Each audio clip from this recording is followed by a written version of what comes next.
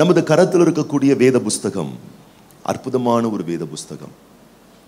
இந்த முழு வேத புஸ்தகத்திலே பழைய ஏற்பாட்டிலும் சரி புதிய ஏற்பாட்டிலும் சரி அநேக தேவ பிள்ளைகளுடைய வாழ்க்கை சரிதைகளை நாம் வாசிக்கின்றோம். பழைய ஏற்பாட்டில் நோவால இருந்து ஆபரகாம் ஈசாக்கு யாக்கோபு யோசேப்பு தானியேலு தாவியது புதிய ஏற்பாடில் பேதுரு யோவான் யாக்கோபு பவுல் இப்படி நிறைய பேரை சொல்லிக்கிட்டே போகலாம் இவர்கள் எல்லாருடைய சரித்திரங்களை நாம் வாசிக்கிறோம். இந்த சரித்திரத்திலிருந்து நாம் புரிந்து கொள்ள வேண்டிய அவருடைய வாழ்க்கை அனுபவத்தை நாம் வாசிக்கின்றோம் அல்லவா? அந்த வாசிப்பிலிருந்து நாம் புரிந்து கொள்ள வேண்டிய முக்கியமான ரெண்டு பகுதிகள் என்னென்னா அவர்கள் எல்லாருமே நம்மை போல பாடுள்ள மனிதர்கள். அவர்கள் வாழ்க்கையில் எல்லாருடைய வாழ்க்கையில் எளிமையான அனுபவம் இழப்பின் அனுபவம் சோர்ந்து போன அனுபவம் கைவிடப்பட்ட அனுபவம் கதறி அழுத அனுபவம் துன்பப்பட்ட வேதனைப்பட்ட வியாகுலப்பட்ட ஏமாற்றப்பட்ட சங்கடப்பட்ட எல்லா கதையும் அவங்க லைஃப்பில் இருக்குது அது யாராக இருந்தாலும் சரி. இப்படிப்பட்ட வாதிக்கப்பட்ட வேதனைப்பட்ட துன்பப்பட்ட இப்படிப்பட்டவர்களை தான் தேவன் அழைத்து அவருடைய முன்குறிப்பின்படி தேவனாகிய கர்த்தர் அவர்களை மேன்மையான அழைப்பை வைத்து ஆசீர்வதித்து நீதிமான்களாய் மாற்றி அவர்கள் தேவனை விசுவாசிக்கும்படி செய்து அவர்களுடைய உபத்திரவ உபத்திரவப்பட்ட வாழ்க்கையெல்லாம் தேவன் உயர்த்தப்பட்ட வாழ்க்கையாக மாற்றிவிட்டார். அவங்க வாழ்க்கையெல்லாம் உபத்திரவப்பட்ட வாழ்க்கையாக இருந்தது உண்மைதான். ஆனால் உபத்திரவப்பட்ட வாழ்க்கையோடு அவருடைய வாழ்க்கை முடியவில்லை. உபத்திரவப்பட்ட வாழ்க்கையெல்லாம் உயர்த்தப்பட்ட வாழ்க்கையாக மாறிவிட்டது. பைபிளில் இருக்கக்கூடிய எல்லா கேரக்டரோடும் நம்முடைய வாழ்க்கையை நம்ம பொருத்தி கொள்ளலாம். அவங்க எல்லாருடைய வாழ்க்கையோட நம்முடைய வாழ்க்கையை இணைத்து கொள்ளக்கூடிய அளவுக்கு பொருத்தி பார்க்கக்கூடிய அளவுக்கு நம்ம போன நம்ம படுகிற எல்லா வருத்த கஷ்டத்திலேயும் அவங்களும் வருத்தப்பட்டிருக்காங்க கஷ்டப்பட்டிருக்காங்க. அப்போ நல்ல கவனிங்க இவர்கள் எப்படி உபத்திரவப்பட்ட ஒரு வாழ்க்கையில் வாழ்ந்து கொண்டிருக்கிறார்களோ அது போல இன்றைக்கு நாம் உபத்திரவப்படுகிற ஒரு வாழ்க்கையில் வாழ்ந்து கொண்டிருப்போமே ஆனால் நன்றாய் புரிந்து கொள்ளுங்கள் எப்படி அவர்கள் உயர்த்தப்பட்ட வாழ்க்கைக்கு வந்தார்களோ அதுபோல நீங்களும் நானும் உயர்த்தப்பட்ட வாழ்க்கைக்கு வர முடியும். அதுதான் பைபிள். பைபிள் ஏதோ ஸ்டோரி ஸ்டோரியா கதை கதையா வாசி வாசித்து விட்டு செல்வதற்காக அல்ல. இன்றைக்கு மகா மேன்மை மிகுந்த பரிசுத்த ஆவியானவர் நம்முடைய கருத்திலே இவருடைய வாழ்க்கைகளை எல்லாம் நமக்கு திருஷ்டாந்தங்களாக முன் உதாரணங்களாக எழுதி கருத்தில் கொடுத்ததின் நோக்கம் என்ன? இவங்களை பார். ஆபிரகாமை பார். ஈசாக்க பாரு யாக்கோப பாரு எஸ்தர பாரு ரூத்த பாரு தெபோரால பாரு பேதுருவை பாரு யோவான பாரு. இவர்கள் எல்லாருமே உன்னை போலவே உபத்திரவப்பட்ட வாழ்க்கையில் இருந்தவர்கள் தான் ஆனால் வாழ்க்கை உபத்திரவத்திலேயே முடியவில்லை. உபத்திரவப்பட்ட வாழ்க்கை உயர்த்தப்பட்ட வாழ்க்கையாக மாறினது. ஆகவே இன்றைக்கு நான் உபத்திரவப்படுகிறேன் என்று நீங்கள் சொல்வீர்களேயானால் கர்த்தர் உங்களோடு முகமுகமாய் தீர்க்க தரிசனமாக பேசுகிறார். உபத்திரவப்பட்ட உன்னுடைய வாழ்க்கை உபத்திரவப்பட்டு கொண்டிருக்கிற உன்னுடைய வாழ்க்கை உயர்த்தப்பட்ட வாழ்க்கையாக மாறும். உயர்த்தப்பட்ட வாழ்க்கையாக தேவாதி தேவனுடைய வார்த்தை அது மாற்றும். அப்போ இவங்களுடைய உபத்திரவப்பட்ட வாழ்க்கையெல்லாம் எப்படி உயர்த்தப்பட்ட வாழ்க்கையாக மாறினது? அதான் வேத புஸ்தகம் அதான் பைபிள். அப்போ பார்க்கணும் பாருங்க உபத்திரவப்பட்டாங்க ஓகே. ஆனால் அந்த உபத்திரவம் எப்படி அவர்களுக்கு ஒரு மிகப்பெரிய ஒரு உயர்வை தந்தது? உபத்திரவப்பட்ட வாழ்க்கையை கடந்து எப்படி உயர்த்தப்பட்ட வாழ்க்கைக்கு வந்தார்கள் அப்படின்னு பார்த்தீங்கன்னா இவங்க உபத்திரவத்தை எப்படி பார்த்தாங்கன்னு முதல்ல நம்ம கண்டுபிடிக்கணும். ஏன்னா இன்னைக்கு நம்ம என்ன பார்த்துக்கிட்டு இருக்கோம்னா உபத்திரவத்தை வாழ்க்கையே உபத்திரம் ஐயான்ற மாதிரி நம்ம பார்த்துக்கிட்டு இருக்கோம். ஆனால் அவங்க அப்படி பார்க்கல. அவங்க எப்படி பார்த்தாங்களா? வேதம் சொல்லுகிறது. எப்ரியரின் புஸ்தகம் பதினோராம் அதிகாரம் இருபத்தி ஆறாம் வசனத்தை நாம் வாசிக்கும் பொழுது இனி வரும் பலன் மேல் நோக்கமாயிருந்து எகிப்தில் உள்ள பொக்கிஷங்களிலும் கிறிஸ்துவின் நிமித்தம் வரும் நிந்தையை அதிக பாக்கியம் என்று எண்ணினான். அவர்கள் வாழ்க்கையில பல நிந்தைகள் பாடுகள் வருத்தங்கள் இருந்த பொழுதிலும் தங்களை சுற்றிலும் பல போராட்டங்கள் கசப்பான அனுபவங்கள் சவால் மிகுந்த வேதனைகள் இருந்த பொழுதிலும் அவருடைய ஃபோக்கஸ் அவருடைய பார்வை அவருடைய கண்ணோட்டம் உபத்திரவத்தின் மேலும் பாடுகளின் மேலும் அல்ல அவருடைய கண்ணோட்டமும் நோக்கமும் பலன்கள் மேல் நோக்கமாயிருந்தது.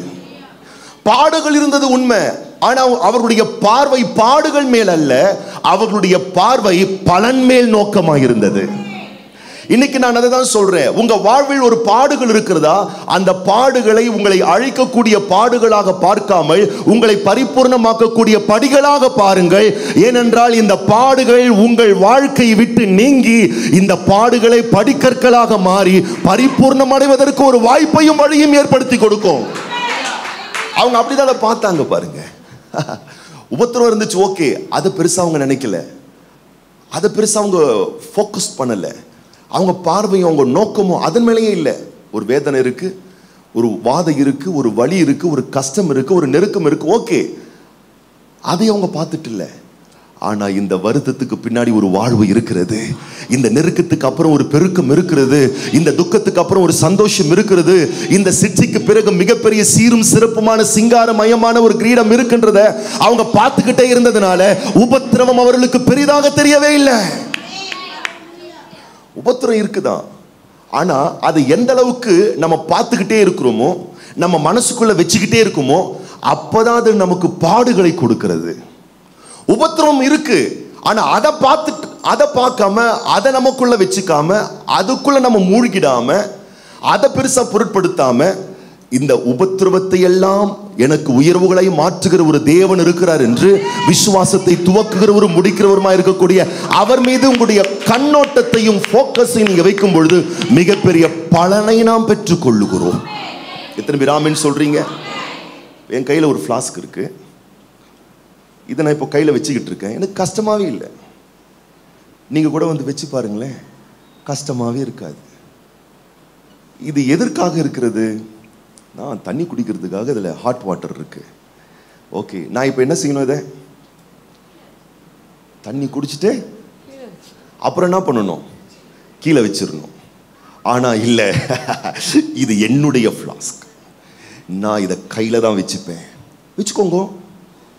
வச்சுக்கிறேன். ஒரு நிமிஷம் ஓகே. ரெண்டு நிமிஷம் ஓகே. அஞ்சு நிமிஷம் கூட பரவாயில்ல. பத்து நிமிஷம் கூட பரவாயில்ல. பதினஞ்சு நிமிஷம் இருபது நிமிஷம் முப்பது நிமிஷம் என்ன ஆகும்? இவ்வளவு நேரம் இது எனக்கு வழியே இல்லை. இவ்வளவு நேரம் எனக்கு பாரமே இல்லை. முப்பது நிமிஷத்துக்கு அப்புறம் இப்போ கை வலிக்க ஆரம்பிக்குது. ஒரு மணி நேரம் கை மறுத்து போகுது. ஒன்றரை மணி நேரம் கை அட்ரஸே இல்லாமல் போயிடுச்சு இப்போ. மறுத்து மறுத்து. இது இருக்கு இது வாழ்வில் இருக்கு ஆனா இதையே பிடிச்சுக்கிட்டு இருந்தான் இதையே பார்த்துக்கிட்டு இருந்தான் இதன் மேலேயே பார்வை வச்சுக்கிட்டு இருந்தான் இது எனக்கு பாரமா இருக்கிறது. இது எனக்கு உதவி செய்ய தான் இருக்கு ஆனா இதன் மேலேயே என்னுடைய பார்வை இருக்கும் பொழுது இது எனக்கு பாரமாக மாறிவிடுகிறது. அலையிலோயா நீங்க ஒன்று ட்ரை பண்ணி ஒரு ரெண்டு மணி நேரம் பிடிச்சி பாருங்களேன். அலையிலோயா ரெண்டு மணி நேரம் இல்லையா? இருபது நிமிஷம் கூட பிடிக்க முடியாது. நான் சொல்லுகிறேன் உங்கள் வாழ்வில் இருக்கக்கூடிய உபத்திரவங்களும் நெருக்கங்களும் இடரல்களும் சங்கடங்களும் இப்படிப்பட்டவைகளே. இதை நீங்க பிடிச்சுக்கிட்டே இருந்தீங்கன்னா இதை பார்த்துக்கிட்டே இருந்தீங்கன்னா இதை பற்றி பேசிக்கிட்டே இருந்தீங்கன்னா இது உங்களுக்கு பெருசாக தான் தெரியும் வழியாக தான் தெரியும் பாடாக தான் தெரியும் உபத்திரவமா தான் தெரியும். ஆகவே தான் நம்முடைய முன்னோர்கள் முற்பிதாக்கள் உபத்திரவத்தின் மத்தியிலே உபத்திரவங்களை பார்க்காமல் பலனை பார்த்து கொண்டிருந்தார்கள். கர்த்தர் தீமையை நன்மையாய் மாற பண்ணுவார். மிகப்பெரிய ஒரு உயர்வை எங்களுக்காக ஏற்படுத்தி வைத்திருக்கிறார். இது ஒன்றும் பெரிய மேட்டரே கிடையாது. தலை முழுகும் பிரச்சனையாக இருந்தாலும் சரி. அப்படி அவங்க பலனை பெனிஃபிட்ஸை லாபத்தை மேன்மையை வெற்றியை அவங்க நோக்கி கொண்டு இருந்தபடியினால் அவர்கள் பாடுகள் அவர்களுக்கு பெரிய பாரமாகவே இருந்தது கிடையாது. அலையிலோயா.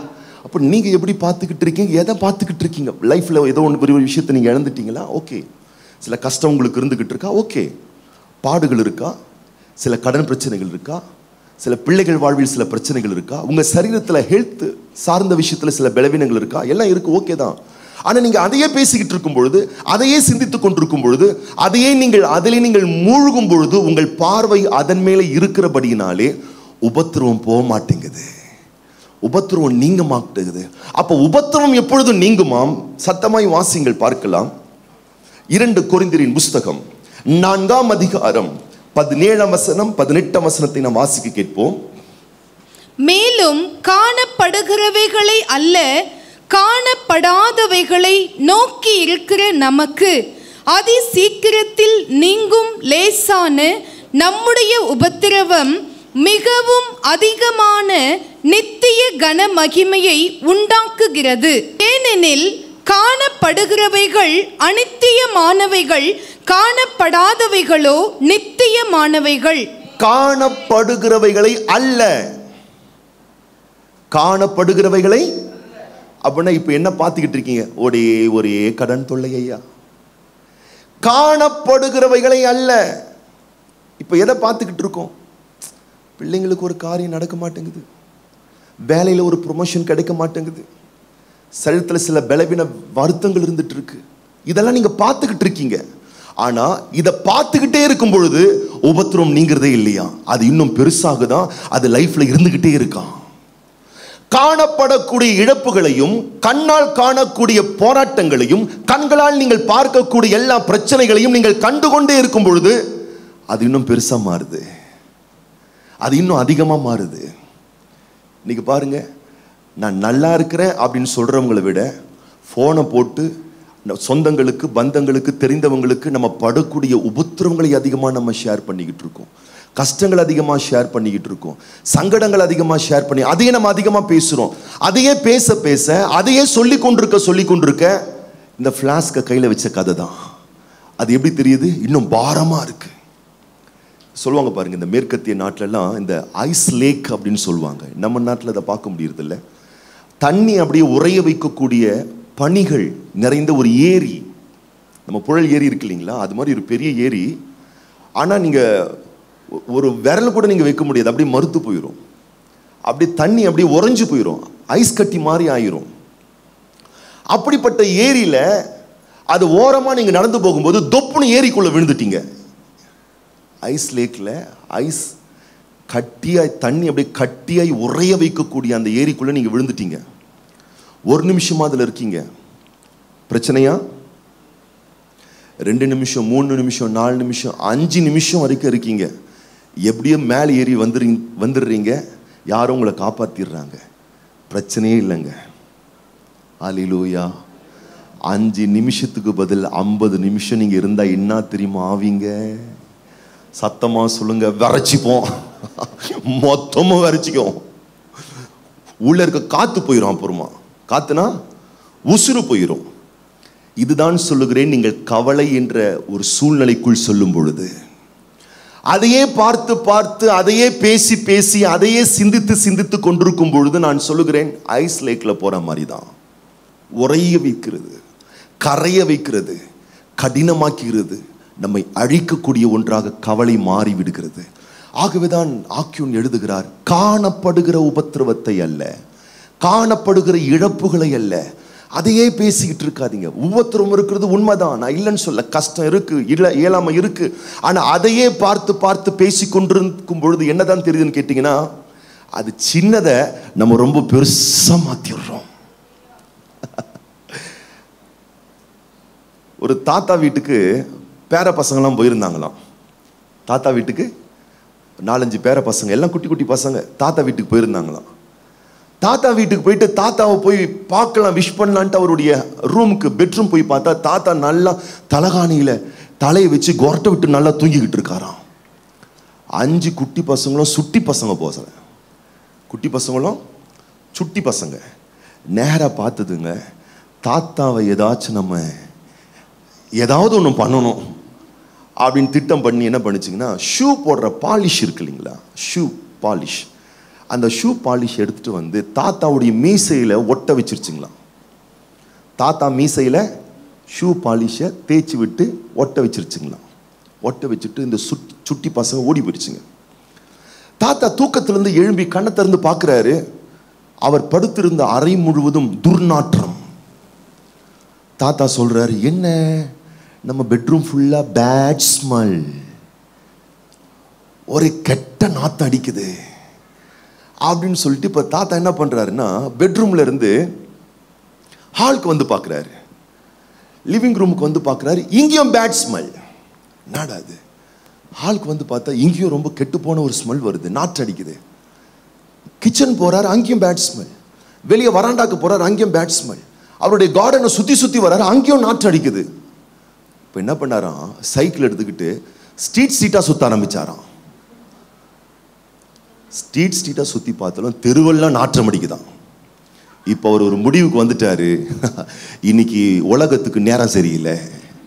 என் பெட்ரூமோ நாத்தம் என் வீடோ நாத்தம் என் தோட்டத்துறவும் நாட்டுறோம் என் ஸ்ட்ரீட்டும் நாட்டுறோம் இந்த ஊர் இல்லை இந்த பகுதியில் இன்னும் உலகமே நாத்தடிக்குது இன்னைக்கு நிறைய பேர் அப்படிதான் பேசிக்கிட்டு இருக்காங்க. வாழ்க்கையே உபத்திரவம் ஐயா. ஆனால் அது எங்கே தான் இருக்குது கொஞ்சமாக இருக்குது மீசையில் ஒட்டிக்கிட்டு இருக்கிற மாதிரி. அல்லேலூயா. புரியுதுங்களா? நான் ஏதாவது தெலுங்கில் பேசிட்டேனோ? ஓகே ரைட் இருக்கீங்களா? அந்த சின்னதை நம்ம என்ன பண்ணுறோன்னா பெருசாக்கி பெருசாக்கி ஊர் உலகமே சில பேர் சொல்லிட்டோம் வாழ்க்கையே பாடுகள். கிறிஸ்தவ வாழ்க்கை என்றால் மிகப்பெரிய பாடுகள். அது நெருப்பில் நடக்கிற மாதிரி மிகப்பெரிய பிரச்சனைகள் போராட்டங்கள். நான் சொல்கிறேன் அது ஒரு பெரிய மேட்ரே இல்லை. யாருக்கு பெரிய மேட்ருனா காணப்படுகிறவைகளை நோக்கி காண்கின்ற பிரச்சனையை நோக்குகிறவர்களுக்கு அது மிகப்பெரிய பாடுகள் தான் ஆனால் வசனம் சொல்லுகிறது ஏனெனில் காணப்படுகிறவைகள் அல்ல காணப்படாதவைகளை நோக்கி இருக்கிற நமக்கு அதி சீக்கிரத்தில் நீங்கும் லேசான உபத்திரவம். நீ பிரச்சனையா பார்த்துட்டு இருக்கும்போது அது போக போகாது. அது போவே போகாது. அது எப்போதான் போதாம்? வசனம் சொல்லுகிறது காணப்படுகிறவைகளை அல்ல காணப்படாதவைகளை நீ பார்த்துக்கிட்டே இருக்கும் பொழுதுதான் இன்னைக்கு வந்து வேலை இல்லை. ஆனா எனக்கு ஒரு நல்ல வேலையை கர்த்தர் தருவார் என்பதை நீ விசுவாசிக்கும் போது அதை நீ பார்க்கும்போது அது உன்னுடைய தரிசனமா இருக்கும் பொழுது அப்படி பார்க்கக்கூடிய உனக்கு இப்ப இருக்கக்கூடிய வேலை இல்லை என்ற பிரச்சனை அதி சீக்கிரத்தில் நீங்கும். கடனா இருக்கியா? ஒரே கஷ்டமா இருக்கியா? அதையே பார்த்துக்கிட்டு இருக்கும் பொழுது அதையே பேசிக்கிட்டு இருக்கும் பொழுது அது போகாதான். ஆனால் கர்த்தர் எங்களை பரிபூர்ணமாக்குவார். என் சம்பளம் கம்மி தான் என் வருமானம் கம்மி தான் ஆனால் கர்த்தரனை போஷிக்க வானத்தின் பலகணிகளை திறப்பார். இடம் கொள்ளாமல் போகக்கூடிய அளவுக்கு என்னை அவர் ஆசீர்வதிப்பார் என்று இப்ப நீ பார்க்காம இருக்கலாம். ஆனால் இனிமேல் நான் பெருகுவேன் என்பதை நீ பார்ப்பாயே ஆனால் விசுவாசிப்பாயே ஆனால் அதிசீக்கிரத்தில் நீங்க உபத்திருவோம். உங்களுக்கு வாழ்க்கையில நல்ல நிலைக்கு வருவேன் என்ற தரிசனங்கள் இருக்கிறதா அன்பானவர்களே? வாழ்க்கையில் இப்ப நான் உபத்திரப்படலாம். இதே ஊர்ல நான் உயர்த்தப்படுவேன். இதே ஊர்ல நான் வாழ்ந்திருப்பேன். இதே இடத்துல வாட்டர் சைக்கிளை வச்சிட்டு இருக்கிறேன்னா மிகப்பெரிய ஒரு லக்ஸரியான ஒரு கார் வாங்கி அதை ஓட்டிட்டு நான் கர்த்தருடைய ஆலயத்துக்கு வருவேன். அந்த நிலைக்கு காண்டவர் என்னை வைப்பார் என்ற ஒரு தொலைநோக்கு பார்வை ஒரு மிகப்பெரிய ஒரு தரிசனம். குடும்பத்தில் ஒரே சண்டை சச்சரவு நிம்மதி இல்லை. இந்த சூழ்நிலைகள் மாறி என் குடும்பமே ஒரு சொர்க்க பரலோக வனமாய் மாறுவது நான் பார்ப்பேன் என்ற ஒரு தொலைநோக்கு பார்வை ஒரு தரிசனம் உங்களுக்கு உண்டா? அப்படி பார்க்கிறவர்களுக்கு உபத்திரவம் சீக்கிரத்தில் நீங்கி போகுமா? உபத்திரவம் அட்ரஸ் இல்லாமல் போயிருமா? ஏன்னா காணப்படுகிறவைகள் அனித்தியமானவைகள். கா காணப்படுகிறவைகள் அனித்தியமானவைகள். காணப்படாதவைகளோ நித்தியமானவைகள். உனக்காக தேவன் இன்னும் நீ அனுபவிக்காத நன்மைகள். இன்னும் நீ பெற்றிராத அனுபவ நன்மைகள். இதுவரைக்கும் கண்ணில் பார்க்காத நன்மைகள். அதெல்லாம் நித்தியமானவைகள். யோசிப்பு பார்த்துக்கிட்டு இருக்கான் என் அறிக்கட்டுகள் நிமிந்து நிற்கும். ஆனால் அவன் நிமிந்தெல்லாம் நிற்கலங்க குழியில தூக்கி போட பார்க்குறானுங்க. ஆனால் அவனுக்கு தரிசனம் இருக்கு. தொலைநோக்கு பார்வை இருக்கு. இப்போ இப்படி இருக்கலாம். ஆனால் வாழ்க்கையில் ஒரு பெரிய இடத்துக்கு நான் வருவேன். இப்போ அவன் கூட இருந்த சகோதரர்களாம் பேசி கொண்டிருக்கிறார்கள். என்ன தெரியுமா பேசுறாங்க? இவன் தரிசனம் எப்படி நிறைவேறுது பார்த்துருவோம். இவன் சொப்பனை எப்படி நிறைவேறது பார்த்துருவோம். பிசாசு அதை தான் பார்த்துக்கிட்டு இருக்கான். பிசாசுக்கும் உனக்கும் பிரச்சனை இல்லை. உன் தரிசனத்துக்கும் பிசாசுக்கும் தான் பிரச்சனை. நீ சிந்திக்கிறல்ல இன்னைக்கு நினைக்கிறல்ல இன்னைக்கு நான் தனியா இருக்கேன். எனக்கு அற்புதமான ஒரு வாழ்க்கை துணை அமையும் நீ விசுவாசிக்கிறல்ல அந்த தரிசனத்துக்கு விரதமாய் பிசாசு இருக்கிறான். இன்னைக்கு நான் ஒரு வாடகை வீட்டில் வாடகை கூட கொடுக்க முடியாமல் கஷ்டப்பட்டுட்டு இருக்கேன் ஆனால் கர்த்தர் என சொந்த வீட்டில் நான் கட்டாத வசதியான பெரிய வீட்டை எனக்கு தருவார்னு நீ விசுவாசிக்கிறல்ல? அந்த விசுவாசத்துக்கும் அந்த தரிசனத்துக்கும் அந்த தொலைநோக்கு பார்வைக்கும் பிசாசு எதிரானவனாக இருக்கிறான்.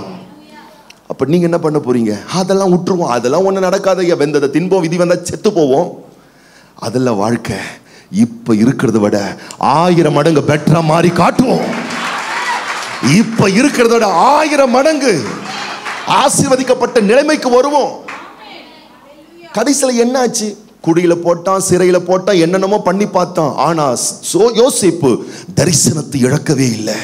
யோசிப்பு தன்னுடைய தொலைநோக்கு பார்வையை இழக்கவே இல்லை. அதை விடாப்பிடியா பிடிச்சிட்டு இருந்தான். நான் சொல்றேன் உன் கையில நயா பைசா இல்லாவிட்டாலும் கர்த்தருனை கோடா கோடியாய் பெருக பண்ணுவார் என்பதை விசுவாசி. அடுத்த வேலைக்கு சாப்பாடு கூட வழி இல்லையா? பிரச்சனை இல்ல. அநேக ஜாதிக்கு கடன் கொடுக்கிற அளவுக்கு என் அப்பா என் பரலோக தேவன் என் பரிசுத்த தகப்பன் என்னை பணக்காரனாய் மாற்றுவார் என்பதை விசுவாசி. அந்த தொலைநோக்கு பார்வையும் இருக்குமே ஆனால் இப்ப நீ பார்க்கிற இந்த நெருக்கங்களும் உபத்திரவங்களும் காணாமல் போய்விடும். அலையிலூயா. ஏன்னா கர்த்தர் ஒரு நாளும் நம்மளை பார்த்து என்னிடத்திலே வாருங்கள். நான் உங்களுக்கு உபத்திரவைத்து தருவேன் என்று அவர் சொல்லி அழைக்கல. என்னிடத்திலே வாருங்கள். நான் உங்களுக்கு இலைப்பாறலை தருவேன்னு சொல்லி தான் அழைச்சிருக்கிறாரு. அப்ப கிறிஸ்தவ வாழ்க்கை எதற்கு? வேத புஸ்தகம் எதற்கு? சாட்சியின் வாழ்க்கை எதற்கு? பரிசுத்த ஜீவியம் எதற்கு? கர்த்தருக்காக வாழ்ற வாழ்க்கை எதற்கு? வாழ்க்கையிலே வத்தலும் தொத்தலுமா வாழ்ந்து நொந்து வந்து போறதுக்காக இல்லைங்க இந்த உலகத்தில் தேவன் தருகிற எல்லா நன்மைகளையும் பெற்று அனுபவித்து இந்த உலகத்துக்கே கர்த்தரை ஆராதிக்கிறவர்களை கர்த்தரை எவ்வளவு சீரும் சிறப்புமா வைக்கிறார் என்பதற்கு சாட்சியாய் வாழ்வதற்கு. அப்படி தேவன் வைக்க விரும்புறாரு பாருங்க நம்மள. அப்ப அந்த தரிசனத்தோட நம்மளுடைய தரிசனத்தை பொருத்திக்கணும் உட்புகுத்திக்கணும். அப்போ காணக்கூடிய பிரச்சனைகளை அல்ல. ஏன்னா இயேசு கிறிஸ்து என்ன சொல்றாரு பாருங்க? நிறைய பேர் இதை பிடிச்சிக்கிறாங்க இல்லையா? யோவான் சுவிசேஷ புஸ்தகம் பதினாறாம் அதிகாரம் யோவான் சுவிசேஷ புஸ்தகம் பதினாறாம் அதிகாரம் முப்பத்தி மூன்றாம் வசனத்தை வாசிக்க கேட்போம். என்னிடத்தில் உங்களுக்கு சமாதானம் உண்டாயிருக்கும் பொருட்டு இவைகளை உங்களுக்கு சொன்னேன். உலகத்தில் உங்களுக்கு உபத்திரவம் உண்டு. ஆனாலும் திடன் கொள்ளுங்கள் நான் உலகத்தை ஜெயித்தேன் என்றார். ரொம்ப அற்புதமான ஒரு வசனம் பாருங்க.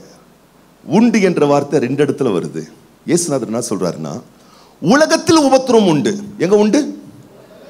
உலகத்தில் இருக்கு. ஆனா என்கிட்ட உபத்திரம் இல்லை என்கிட்ட சமாதானம் உண்டு. நீ என்ன நம்புறதுனால என்ன சார்ந்து கொண்டதுனால உனக்கு உபத்திரம் நியமிக்கப்படவில்லை உனக்கு சமாதானம் நிம்மதியும் நல்வாழ்வும் நியமிக்கப்பட்டிருக்கிறது. நம்புங்கள் உலகத்துல இருக்கிறவனை பார்க்கிலும் சமான பிரபு உங்களுக்குள் வாசமாக இருக்கிறார் அதனால தான் பைபிள் சொல்லுது உலகத்தின் சிஸ்டத்துக்குள்ள நம்ம வாழல. நாம் உலகத்தார் அல்ல. நாம் தேவனுடைய மக்கள் வானத்தின் கீழ் வாழ்கிறவர்கள் அல்ல. தேவாதி தேவனுடைய வார்த்தையின் கீழ் வாழக்கூடியவர்களாக இருக்கிறோம். வார்த்தை தான் நம்முடைய வருங்காலமும் எதிர்காலமுமாய் இருக்கிறது அன்பானவர்களே. அப்ப நம்ம இன்னைக்கு சிந்திக்கணும் நம்ம யோசிக்கணும். இந்த சங்கடம் இந்த உபத்திரவம் இந்த பிரச்சனை இதையே பேசிட்டு இருக்கிறத நிறுத்திட்டு மிகப்பெரிய பலன்கள் வைக்கப்பட்டிருக்கிறது. மிகப்பெரிய ஊழியங்கள் வைக்கப்பட்டிருக்கிறது. மிகப்பெரிய ஆத்தும் அறுவடைகள் வைக்கப்பட்டிருக்கிறது. மிகப்பெரிய உன்னதமான நன்மைகள் எனக்காக வைக்கப்பட்டிருக்கிறது. அந்த இடத்துக்கு வரணும் பாருங்க. கவலைப்படுறதை நிறுத்திட்டு கர்த்தருடைய வார்த்தையின் மேல இன்னும் அதிகமான நம்பிக்கைகளையும் விசுவாசத்தையும் வைத்து வளருகிற நிலைக்கு நாம் வர வேண்டும். அதுக்காக தான் வேத புஸ்தகம். ஆமாம் ஓரத்தில் உட்காந்து எப்போ பார்த்தாலும் சோர்ந்து போய் உட்காரத்துக்காக வேத புஸ்தகம் இல்லை வாசித்து திடப்படுவதற்காக பலப்படுவதற்காக தைரியப்படுவதற்காக வாழ்வில் வரக்கூடிய எல்லா சவால்களையும் மேற்கொண்டு விசுவாசம் என்னும் கேடயத்தை பிடித்து கொண்டு எல்லா தீய வல்லமைகளை ஒன்றுமில்லாமல் ஆக்கி வெற்றிகரமான வாழ்க்கை வாழ்வதற்காகத்தான். அலிலூயா அப்போ இன்னைக்கு நெருக்கங்கள் இருக்கா? கஷ்டங்கள் இருக்கா? புரிஞ்சு கொள்ளுங்கள் இதுக்காக ஆண்டவர் என்னை அழைக்கல.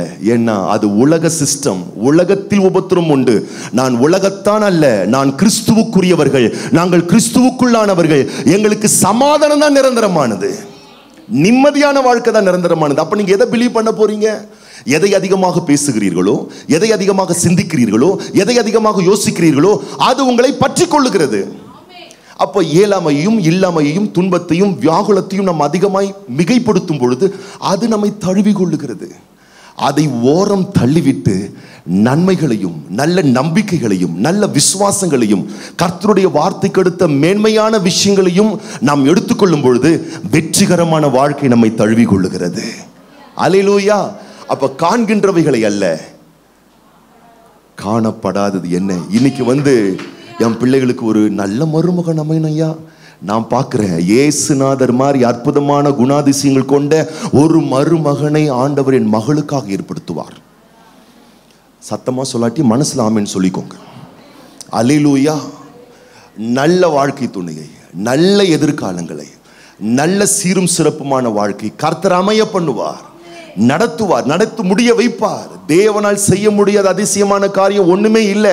இதெல்லாம் ஏதோ சும்மா கேட்டுட்டு வாரத்துக்கு ஒரு நாள் பேசிட்டு போறது இல்லைங்க இது நம்முடைய அணுதினமும் வாழ்வில் வெளிப்படக்கூடிய வாக்குகளாக மாற வேணும். ஞாயிற்றுக்கிழமை ஒரு மணி நேரம் பிரசங்கம் என்பது ஞாயிற்றுக்கிழமை ஒரு மணி நேரத்துக்கு மட்டுமல்ல அந்த வாரம் முழுதுக்கும் அந்த மாசம் முழுதுக்கும் ஏன்? வாழ்க்கை முழுவதுக்கும் இந்த பிரசங்கம். வாழ்க்கை முழுசுக்கும் தான். அப்போ என்னைக்குமே மெசேஜை மசாஜ் பண்ண தெரிஞ்சுக்கணும். அலையிலூயா எனக்கு எண்ணெய் போட்டு தான் ஏன் மசாஜ் பண்ண தெரியும்ன்றீங்களா? வார்த்தையை மசாஜ் பண்ணி பாருங்க. இந்த மெசேஜை லைஃப்பில் மசாஜ் பண்ணி பாருங்க.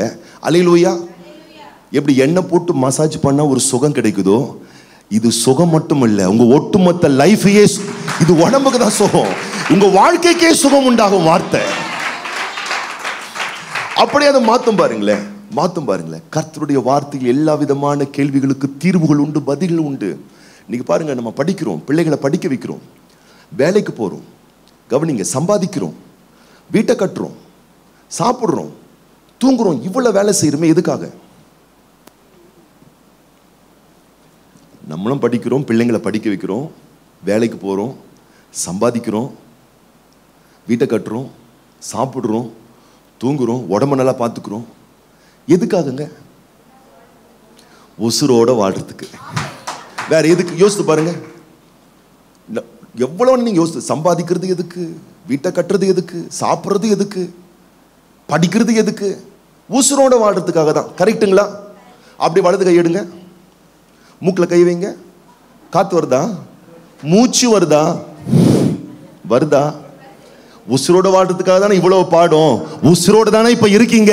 ஏன் பாடுபடணும்ன்றேன் உசுரோடு தானே இருக்கும். அப்போ நம்ம சந்தோஷமா இருக்க வேண்டாமா? பாடுகளை பார்த்தே நம் பரிதாபத்துக்குள் செல்ல வேண்டும்? பரவசத்தோடு பரிபூர்ணமாய் கர்த்தருடைய நாமத்தை மகிமைப்படுத்த வேண்டாமா? அலையிலூயா இதெல்லாம் சிந்தித்து பார்த்து நான் சொல்கிறேன் நீங்கள் சந்தோஷமாக இழிச்ச வாயனா கூட நீங்கள் இருந்துடலாம். ஆனால் இடி விழுந்த இருளாண்டியா நீங்க இருக்கவே கூடாது. சொல்லுங்க பார்க்கலாம் நிமிந்து உட்காந்து இந்த சைமன் பாஸ்ட் மாதிரி ஈன்னு இழிச்ச வாயனை கூட இருந்துடலாம். ஈ பேசத்துல ஈ ஈ. இளிச்ச வாயினா கூட இருந்திருக்க பிரச்சனையே இல்லை. ஆனா இருள் விழுந்த இருளாண்டி மாதிரி இருந்தீங்கன்னா அது நல்ல விஷயமே இல்லை. அப்போது சங்கீதத்தின் காரன் சொல்லுகிறார். சங்கீதத்தின் புஸ்தகம் எண்பத்தி நான்காம் அதிகாரம் ஆறாம் வசனத்தை வேகமாய் வாசிங்கள். சங்கீதம் எண்பத்தி நான்கு ஆறு. அழுகையின் பள்ளத்தாக்கை உருவ நடந்து அதை நீரூற்றாக்கிக் கொள்ளுகிறார்கள். மழையும் குளங்களை நிரப்பும். இங்க தேவ மக்களை குறித்து நாம் வாசிக்கிறோம். இவங்க பாதையே என்ன பாதையாம் சத்தமா சொல்லுங்க. அழுகையின் பாதை வாழ்க்கையே அழுக. வாழ்க்கையில் அழுக இருக்கலாம். ஆனால் வாழ்க்கையே அழுகை. காலையிலும் அழுக மாலையிலும் அழுக துக்கம் வருத்தம் கண்ணீர் சோகம் நிந்தனை அவமானம் ஏமாற்றம் இவ்வளோ வந்துச்சா? ஆனால் இந்த பாதை இந்த கண்ணீரின் பாதை இந்த அழுகையின் பாதை இந்த வியாகுல பாதை இந்த நெருக்க பாதையில் சென்று இவர்கள் உருவழிந்து போகவில்லை. அழிந்து போகவில்லை. வெட்கப்பட்டு போகவில்லை. இந்த பாதையில் சென்று அந்த பாதையே நீரூற்றா மாத்துறாங்களாம். கரங்களை தட்டி ஆண்டவரை மேம்படுத்தி பார்க்கலாம். கஷ்டப்பாதை தான். ஆனா அதுக்கு எனக்கு இஷ்டமான பாதையை நான் மாத்துறேன். வருத்தமான பாதை தான். ஆனா அந்த பாதைக்குள்ள செல்லக்கூடிய தேவ பிள்ளைகள் அந்த பாதையில் விழுந்து போய் அழிந்து போவது கிடையாது. அந்த பாதையே பரிபூர்ணமான பாதையா மாத்துறாங்களாம். அப்ப நான் சொல்றேன் உங்க வாழ்க்கையில் சில சிற்சைகள் இழப்புகள் அவமானங்கள் நிந்தைகள் கண்ணீர்கள் போராட்டங்கள் வருதா? இந்த பாதையில் சென்- சென்று எத்தனை பேர் விழுந்து போனது உண்மைதான். இந்த பாதையில் சென்று எத்தனை பேர் வாழ்க்கை முடிந்து போனது உண்மைதான். ஆனால் நீங்கள் விசுவாசிக்கக்கூடிய பிள்ளைகளாக இருப்பீர்களே ஆனால் இதே பாதையில் நீங்கள் டிராவல் பண்ணி அந்த பாதையே பரிபூர்ணமான பாதையாக மாற்ற முடியும். அந்த அழுகையின் பாதையே அற்புதமான பாதையாக மாற்ற முடியும். ஏன்னா மாத்திருக்காங்களே. அதுக்காக தாங்க விசுவாச ஜீவியம் தேவைங்கிறது. அலிலூயா. ஒரு சின்ன ஒரு உதாரணம் சொல்றேன். சொல்லி நான் முடிச்சிடுறேன். நேரம் அதிகமா இல்லை. ஒரு பாத்திரத்துல தண்ணி கொதிக்குது. ஒரு பாத்திரத்துல தண்ணி சூடா அப்படி கொதிக்குது. கொதிக்கிற தண்ணி. இந்த கொதிக்கிற தண்ணி முன்னாடி மூணு பொருள் இருக்கு. கொதிக்கிற தண்ணி முன்னாடி மூணு பொருள் இருக்குது ஒன்று உருளைக்கிழங்கு. உருளைக்கிழங்கு. உருளைக்கிழங்கு. நம்ம லாங்குவேஜ் உருளைக்கிழங்கு. அப்பதான் நமக்கு வரும் இல்லையா? உருளைக்கு அதுனா உருளை? உருளைக்கிழங்கு. அப்படி அப்படிதான் வருது. ஆ பொட்டோட்டோனா கூட சில பேர் அண்ணன் இன்னாட்டோ டட்டோட்டோ பொட்டோட்டோ? பொட்டேட்டோ. சரி உருளைக்கிழங்குன்னா வந்துடும் பாருங்க. உருளைக்கிழங்கு. இன்னொன்று முட்டை. இன்னொன்று டீத்தூள் இந்த உருளைக்கிழங்கு பாருங்க ரொம்ப தொட்டு பார்த்தா எப்படி இருக்கு? உருளைக்கிழங்கு பார்த்தது இல்லையா ஐயா அது எங்கய்யா இருக்குன்றீங்களா? உருளைக்கிழங்கு தொட்டு பாருங்களேன் ஹார்டாக இருக்கு. கடினமாக இருக்கு. கல் மாதிரி இருக்கு. இந்த உருளைக்கிழங்கை கொண்டு போயிட்டு கொதிக்கிற வெண்ணில போட்டா இந்த உருளைக்கிழங்கு உபத்ரோம் என்னும் தண்ணீருக்குள் செல்லுகிறது. இந்த கடினமான உருளைக்கிழங்கு கொதிக்கிற உபத்திரவம் நெருக்கம் என்ற ஒரு கொதிக்கிற தண்ணிக்குள்ள போகுது. போனதுக்கு அப்புறம் இது என்ன ஆகுது? கொல கொல கொல கொல கொல கொலன்னு ஆயிருது. இவ்வளவு நேரம் எப்படி இருந்துச்சுங்க? கல்லு மாதிரி இருந்தது ஹார்டா இருந்துச்சு. இப்போ அந்த உபத்திரவம் வெந்நீர் கொதிக்கிற தண்ணிக்குள்ள போன உடனே என்ன ஆயிருச்சு? கோல கோல கோல இப்படி சொன்னதான் புரியும். கோல கோலன்னு ஆயிருச்சு. எப்படி ஆயிடுச்சு? கொல கொலன்னு ஆயிடுச்சு. இப்படி கொல கொலன்னு ஆயிடுச்சு. சிலருடைய வாழ்க்கை இன்னைக்கு இப்படி தான் இருக்குது எப்படி இப்படி இருக்குன்னா உருளைக்கிழங்கு மாதிரி இருக்குது நல்லா தான் இருப்பாங்க. சும்மா சூப்பராக ஜம்முன்னு. ஆனால் வாழ்க்கையில் ஒரு சிச்சை. எதிர்பாராத விதமாக ஒரு உபத்திரவம் ஒரு இழப்பு ஒரு அவமானம் ஒரு பலவீனம் ஒரு சிக்கு. ஏதோ ஒரு பிரச்சனை வாழ்க்கையில் வந்த உடனே அந்த கொதிக்கிற தண்ணிக்குள்ளே போகிற மாதிரி வாழ்க்கை போனதுக்கு அப்புறமா நீங்கள் பார்த்தீங்கன்னா ஏபா அப்படியே தொங்கி போயிடுவாங்க நொந்து போயிடுவாங்க சில நேரத்தில் பார்த்தீங்கன்னா ஜெபத்தையும் விட்டுருவாங்க. கர்த்தரையும் விட்டுருவாங்க. சர்ச்சையும் விட்டுருவாங்க. வாழ்க்கையில் நம்பிக்கையே போயிடும் அவங்களுக்கு. எப்படின்னு கேட்டிங்கன்னா நகோமி மாதிரி ரூத்தின் புஸ்தகத்தில் நீங்கள் வாசித்து பார்த்தீங்கன்னா நகோமி என்ற ஒரு அம்மா இருக்காங்க பாருங்கள் அந்த அம்மா லைஃப்பில் சில இழப்புகள் சில பஞ்சங்கள் பற்றாக்குறை இதெல்லாம் வந்துச்சு. இந்த உபத்திரமான பாதைகளுக்குள் சென்ற உடனே அந்த அம்மா சொல்லுது எல்லாரும் சொல்றாங்க ஏய் நகோமி வருகிறாள் நகோமி வருகிறாள். அந்த அம்மா சொல்லுது என்னை ஏன் நகோமி என்று சொல்லுகிறீர்கள்? ஏன்னா நகோமி என்றால் இன்பமானவள் நகைப்பானவள். நகோமின்னு சொன்னா? இன்பமானவள். ஆனா இந்த அம்மா சொல்லுது என்னை ஏன் இன்பமானவள் நகைப்பானவள் அப்படிலாம் சொல்றீங்க. என்னை மாறான்னு கூப்பிடுங்க. எப்படி கூப்பிடுங்களா? நான் கசப்பானவள். நான் எல்லாத்தையும் இழந்துட்டேன். எல்லாத்தையும் நான் இழந்து போயிருக்கிறேன். நான் பட்ட மரம் ஆயிட்டேன் என் லைஃப்ல ஒண்ணுமே இல்லை. எல்லாமே போயிருச்சு. இப்படி ஆயிடுறாங்களா? நகோபி மாதிரி நம்பிக்கை இழந்து ஒரு பிரச்சனை வந்ததுக்கு அப்புறமா நீங்க பார்த்தீங்கன்னா உங்க தோற்றமே மாறிடும். உருகி ஊத்தி போயிடுவாங்க ஒரு ப்ராப்ளம் வந்த உடனே முகம் சுண்டி போயிடும் முகத்தை பார்த்தாலே தெரிஞ்சிடும் அவ்வளவு உள்ள அழுத்தமும் கவலையும் துக்கமும் இருக்கும். அந்த நெருக்கத்துக்குள்ள போனவுடனே உருளைக்கிழங்கு மாதிரி நல்லா ஸ்ட்ராங்கா இருந்த ஆள் தான் சுடு தண்ணிக்குள்ள போனவுடனே உடனே கொல கொலன்னு ஆயிடுறாங்க. இன்னொரு கூட்டம் இருக்கு ரெண்டாவது கூட்டம். அவங்க வந்து முட்டை மாதிரி. என்ன மாதிரி? முட்டை கையில் எடுத்து பாருங்க. சும்மா முட்டையை வச்சு சும்மா நசுக்குனாலே நீங்க என்ன பண்ணலாம்? அவ்வளோதான் உடச்சிடலாம். அது எப்படி இருக்கு?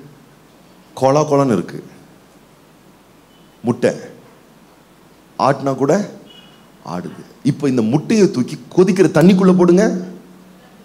என்ன ஆகும் கொஞ்ச நேரம் பொறுத்து. ரஃப்பாயிரும். ஹார்டாயிரும். கடினமாயிரும். சில பேருடைய லைஃப் இது மாதிரி இருக்கும். தான் இருப்பாங்க.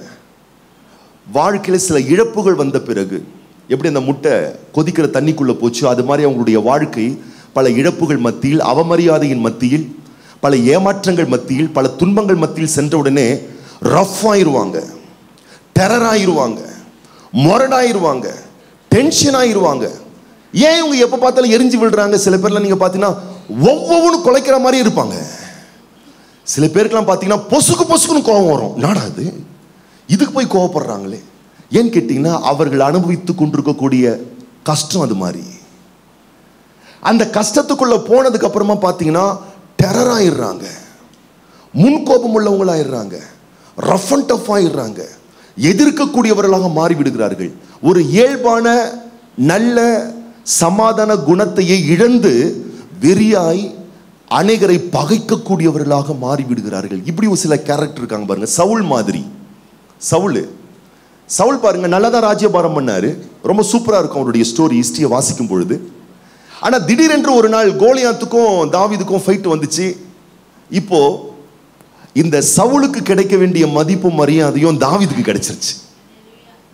சவுல் கொன்றது ஆயிரம் தாவிது கொன்றது பத்தாயிரம்னு சொல்லி தாவித பாராட்டின உடனே எனக்கு கிடைக்க வேண்டியது கிடைக்கலையே எனக்கு நடக்க வேண்டியது நடக்கலையே யாரோ ஒருத்தருக்கு நடந்துருச்சு நான் இழந்துட்டேனே என் வாழ்க்கையில் என்னை விட்டு சில விஷயங்கள் பறி போனதை என்று சொன்ன உடனே பாருங்க சவுல் அதுக்கப்புறம் டெரரான ஆகி மாறிட்டாரு. ரொம்ப கோபமுள்ள ஆளாக மாறிட்டார். யாரை பார்த்தாலும் திற்றவரா வேதம் சொல்லுகிறது ஒரு எரிச்சல் மிகுந்தவனாய் அவன் மாறிவிட்டான். சில பேர் இந்த சோதனையின் வழியாக செல்லும் பொழுது அவங்களுடைய குணங்கள் அப்படிப்பட்டதாக மாறிவிடுகிறது. ஆனால் மூணாவது ஒன்று இருக்கு. என்னதுங்க? பா இதெல்லாம் கரெக்டாக சொல்கிறீங்க பாருங்க. வசனம் தான் நமக்கு வராது. டீ தோல் உருளைக்கிழங்கு முட்டை ஆம்லேட்டு. இன்னைக்கு எத்தனை பேர் வீட்டில் முட்டை ஆம்லேட்டும் டீ தோல் இந்த டீ தூளுடைய தன்மை தெரியுங்களா? இந்த டீ தூள் அதே கொதிக்கிற தண்ணிக்குள்ள போகுது. டீ தூள் கொதிக்கிற தண்ணிக்குள்ள போச்சுன்னா அந்த கொதிக்கிற தண்ணி டீ தூளை மாத்தாது. தூள் அப்படியே தான் இருக்கும். ஆனா இந்த தூள் போய் தண்ணியையே மாத்திரும். இப்போதான் லைட் அடிக்குது நிறைய பேருக்கு. ஆ கரெக்ட் இந்த டீ தூள் சுட தண்ணிய சுவையான தேநீராகவே மாத்திருது. அப்போ தேவ பிள்ளைகள் எப்படி இருக்கணும்னா உபத்திரவத்தின் பாதையில் செல்லும் பொழுது கொல கொலன்னு ஆயிடக்கூடாது உபத்திரவத்தின் பாதையில் செல்லும் பொழுது டெரராம ஆயிடக்கூடாது உபத்திரவத்தின் பாதையில் சென்று உபத்திரவத்தைய மாத்திர ஆளா மாறணும். பிரச்சனையை காலி பண்ற ஆளா மாறணும். நெருக்கத்தை அட்ரஸ் இல்லாம ஆக்கணும். கவலையை முற்றிலும் காலி பண்ணணும். அதுதான் ஷாத்ராக் மேஷா காபித் நேகோ. வேதம் சொல்லுகிறது அக்கினியின் உக்கிரத்தை அவித்தார்கள் எப்ரேர் பதினொன்றுல போய் வாசித்து பாருங்க சொல்லப்பட்டிருக்கு. அக்னிக்குன்னு ஒரு தன்மை இருக்கு. என்ன பண்ணும்? எரிச்சிரும். அதுவும் எப்படி எப்படிப்பட்ட அக்னி? ஏழு மடங்கு அக்னி. நெருப்புக்குள்ள போனா கொளுத்தி போட்டுரும் சுட்டெரிச்சிரும் ஆனா இவங்க நெருப்புக்குள்ள போய் நெருப்பை இவங்க காலி பண்ணிட்டாங்களாம். நெருப்பை இவங்க க்ளோஸ் பண்ணிட்டாங்களா? நெருப்பை ஒன்னெல்லாம் ஆக்கிட்டாங்களா கர்த்தருடைய பிள்ளையை நீதானது. நீ கண்ணீரின் பாதையில் உருவ நடந்தாலும் அதை நீரூட்டாய் நீ மாற்ற முடியும். நீ எந்த இடத்தில் இருக்கிற என்பதை யோசித்துப்பா. உபத்திரவத்தையே பார்த்து பிரச்சனையே பார்த்து அப்படியே வளவலன் மாறிடுறீங்களா? இல்ல டெரரா மாறிடுறீங்களா? உபத்திரவத்தை நான் க்ளோஸ் பண்றேன். பலவீனத்தை நான் க்ளோஸ் பண்றேன். பிரச்சனையை நான் காலி பண்றேன். வருத்தத்தை நான் ஒண்ணுமில்லாம ஆக்குறேன். அலையிலூயா. அப்படிப்பட்டவர்கள் தேவனுடைய பிள்ளைகள் அப்படிப்பட்டவர்கள் தான் நீதிமான்கள் அப்படிப்பட்டவர் தான் இயேசுவின் ரத்தத்தால் கழுவப்பட்டவர்கள் அவர்களை குறித்து தான் வேதம் சொல்லுகிறது. நூற்றி பன்னிரெண்டாம் சங்கீதத்தின் புஸ்தகம் ஆறாம் வசனம். நூற்றி பன்னிரெண்டாம் சங்கீதம் ஆறாம் வசனம் ஏழாம் வசனம் எட்டாம் வசனம் சொல்லுகிறது. நீதிமான். நித்திய கீர்த்தியுள்ளவன். துர்ச்செய்தியை கேட்கிறதுனால் தன் லைஃப்ல ஒரு துர்ச்செய்தியான சம்பவம் நடக்கிறதுனால் அவன் பயப்பட மாட்டான்.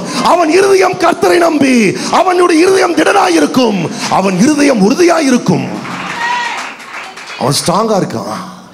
அவன் உபத்திரவத்தில் போயிட்டு கொல கொலனும் மாறல டெரராவும் மாறல அவன் உபத்திரவத்தையும் காலி பண்றான். அவன் உபத்திரத்தையும் க்ளோஸ் பண்றான்.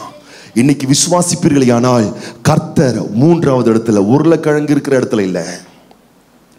முட்டை இருக்கிற இடத்துல இல்ல. டீத்தூள் மாறி கொதிக்கிற தண்ணியை நான் மாத்துறேன். உபத்திரவத்தையே உருகுலைய வச்சிடுறேன். வருத்தத்தையே வாட்டி நான் எடுத்துடுறேன் இயேசுவின் நாமத்தினால. அப்படி வரணும்னா விசுவாசம் ரொம்ப முக்கியங்க. அதான் நூற்றி பன்னிரெண்டாம் சங்கீதம் ஏழாம் வசனத்தில் சொல்லப்பட்டிருக்கு. அவன் துர்ச்செய்தியை கேட்கிறதுனால் பயப்படான். ஏன்னா அவன் இருதயம் கர்த்தரை நம்பி திடனாயிருக்கும். அவன் அப்படியும் போயிட மாட்டான் எப்படியும் போயிட மாட்டான். உபத்திரவத்தையே க்ளோஸ் பண்ணுவான். என்ன ஒன்று நான் பார்த்துக்கிறேன். இல்லை இப்படிலாம் நடக்குதே. நடக்கட்டும் என்ன இப்போ? அல்லையிலூயா இப்படிலாம் பேசுகிறாங்களே பேசிட்டோம் என்ன இப்போ? இப்படிலாம் ஆயிடுச்சு ஆகட்டும். என்ன ஒன்றும் பண்ண முடியாது. அல்லையிலூயா மிகப்பெரிய கல்லை எடுத்து கடலின் மேல் அடித்தால் கல்லை எடுத்து கடலின் மேல் அடித்தால் கடலுக்கு வலிக்காது. கல்தான் காணாமல் போய்விடும். நான் சொல்லட்டுமா? ஏன் அவ்வளவு பெரிய கல்லை தூக்கி கடல் அடிச்சா கூட கடல் காயப்படாமல் கல் காணாமல் போகிறது காரணம் கடல் பறந்திருக்கிறது.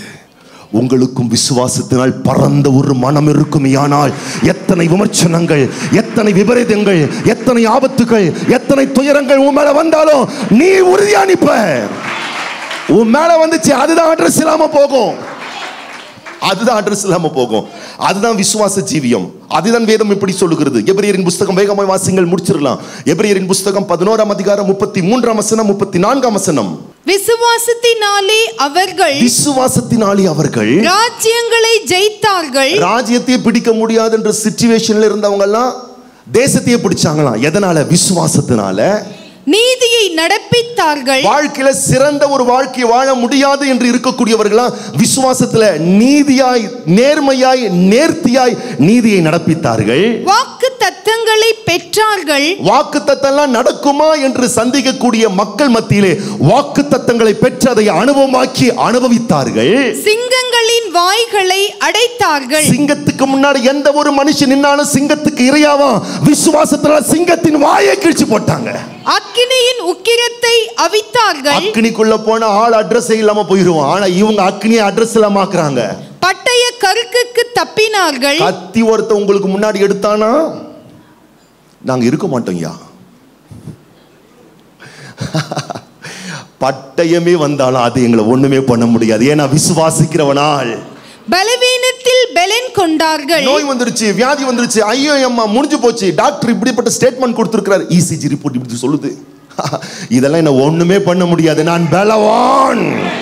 டாக்டர் சொன்னது இருக்கட்டும் ட்ரீட்மெண்ட் இருக்கட்டும் ரிப்போர்ட் இருக்கட்டும் வார்த்தை சொல்லுது. நான் பலவான். நான் அதை பிலீவ் பண்றேன். நான் அதை விசுவாசிக்கிறேன். என்ன மேற்கொள்ள முடியாது. பலன் கொண்டார்கள். யுத்தத்தில் வல்லவர்கள் ஆனார்கள். சண்டையே போட தெரியாது எதிர்க்க தெரியாது காரியத்தை நடப்பிக்க முடியாது. ஆனா இவங்க ஜெயிக்கிறாங்களாம். அந்நியருடைய சேனைகளை முறியடித்தார்கள். ஸ்திரீகள் சாக கொடுத்த தங்களுடையவர்களை உயிரோடு எழுந்திருக்க பெற்றார்கள். எல்லாம் அவுட் ஆனா விசுவாசிக்கிறவன் லைஃப்ல அவுட்ன்றதே இல்ல. கரங்களை தட்டி ஆண்டவரை மகிமப்படுத்து.